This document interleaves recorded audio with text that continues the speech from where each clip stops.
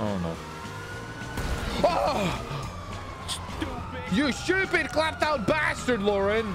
Bit too rammy, don't you think? Fucking.